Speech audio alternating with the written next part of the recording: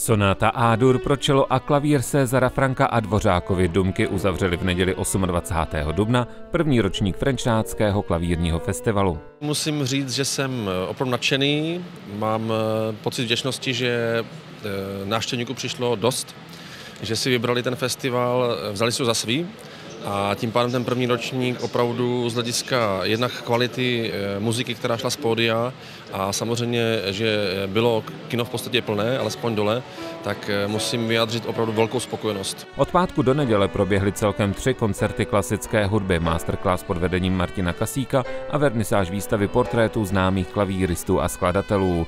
Na festivalu vystoupili kromě samotného patrona Martina Kasíka také studenti Pražské a Ostravské konzervatoře nebo takové osoby, osobností jako Jiří Bárta či Roman Patočka. První koncert eh, měl být virtuózní a eh, závěrečný koncert eh, takový liricko-dramatický. Chtěli jsme ukázat více poloh prostě té romantické klasické hudby a studenti konzervatoře v Ostravě a v Praze zahráli zejména díla Frederika Chopina a Ference Lista. Pořadatelé už teď přemýšlejí, koho pozvou příště. Veře je hned několik jmen. Já jsem oslovil některé naše další umělce, například Radka Baboráka, našeho a světově asi nejlepšího uh, hornistu, a Kateřina Englichová by mohla přijet. Mám jako spoustu možností.